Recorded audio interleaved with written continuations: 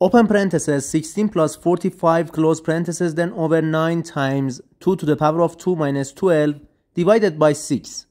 What is the answer of this question? Hi friends and welcome to Turbo Maths channel. In this question we have parentheses addition, multiplication, exponents, subtraction and division. To solve this question we need to follow the order of operations which is PEMDAS. PEMDAS shows the priority of the mathematical operations and if you don't pay attention to this rule you get the wrong answer. In this rule, P stands for parentheses, E stands for exponent, M stands for multiplication, D stands for division, A stands for addition, and S stands for subtraction. Multiplication and division have the same level of priority, also addition and subtraction have the same level of priority. When we have both in an expression, we start from the left and simplify the question. According to the PEMDAS rule, in this question, first we simplify the parentheses. We have 16 plus 45. 16 plus 45 equals 61.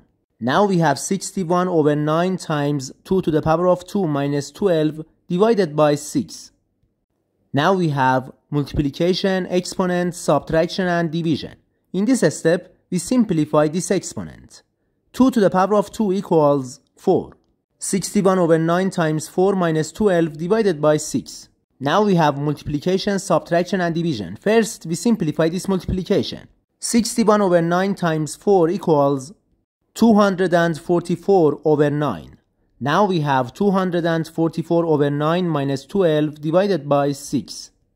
Now we have subtraction and division. In this step, we simplify this division. Negative 12 divided by 6 equals negative 2. 244 over 9 minus 2.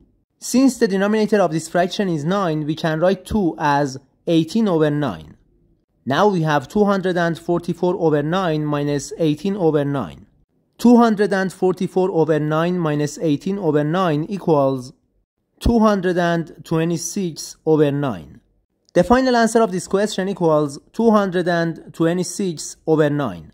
Thanks for watching guys. To see more math videos, subscribe to the channel.